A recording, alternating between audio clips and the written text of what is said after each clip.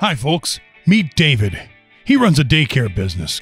One day, while browsing the internet, David read about the importance of social media for boosting a business. Facebook helps increase growth potential without spending a fortune. Without wasting a second, he posted an ad on Facebook about his business. Now let's check out some more fascinating facts about Facebook ads. 3 million businesses actively advertise on Facebook.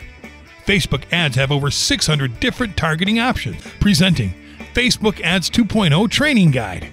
With our strategies, you can learn how to get a scalable flow of instant traffic and convert it into cold, hard cash. A word of caution the price will shoot up to its original soon.